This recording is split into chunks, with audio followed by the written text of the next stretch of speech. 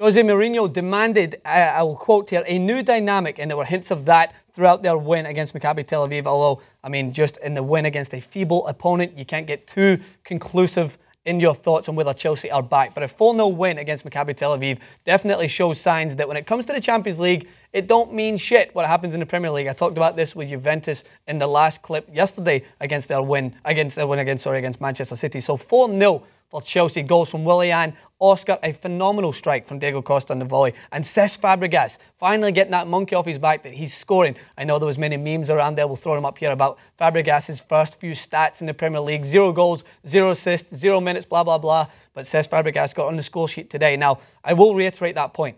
Maccabi Tel Aviv were no means a hard opponent to beat, and Chelsea definitely dominated the game, but this isn't going to be the same stature of opponent they will play in the upcoming weeks in the Premier League. And I think that it is a good lift for them to win 4 0, specifically in the Champions League. As we know, it can often be a banana peel for many teams. Man City dominating in the Premier League and they lose to Juventus. So talking about Chelsea style, I just felt like they were sharper on the ball, felt like they closed down Maccabi Tel Aviv and did not give them any ounce of space, which is what Chelsea did last season. They were very structured in their movement from side to side, moved as a unit. This season there's been a lot of gaps early in the Premier League. They tightened that up. Diego Costa scoring as well is going to boost his confidence going into uh, next week's Premier League game. But I think that Chelsea overall just needed a win. It doesn't matter how pretty it was. 4 0 obviously speaks volumes for a dominant performance but I don't think they had to go out and win 4 0 for everyone to kind of take back and take, and take a breath and realise that Chelsea, okay, it's a Champions League. This could maybe reroute their season after that poor start. And going to the other team in London,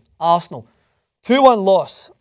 And the thing is, Giroud, although he's not considered the most, I would say, consistent players, he has got this aspect to him that people dislike. I think our own general manager in here calls him the douche. Gerard, uh, Giroud the douche. And he's been sent off against a, a, lesser opponent that in no means Arsenal should have lost this game against Dynamo Zagreb. And to lose 2 1 against this team after starting so promising is just an absolute dagger to Arsene Wenger and his team because now they're just going to open themselves up to the criticism again. The Arsenal, the same old team in the Champions League, losing to Monaco last season, losing to lesser opponents, is just not good enough. And Giroud to be sent off in this game so early, it just made this task even harder against a very hostile Zagreb team in a uh, in a hub, I would call it, their home field, in which they, they don't have the, the biggest fans in the world, but it just seems like a very hostile environment to play in, specifically against those Zagreb fans who were, when Arsenal were on the ball, letting them, letting them know that they want at home here. And uh, Arsenal's style of play, I think, just wasn't the same. And this is what I've seen in the Premier League.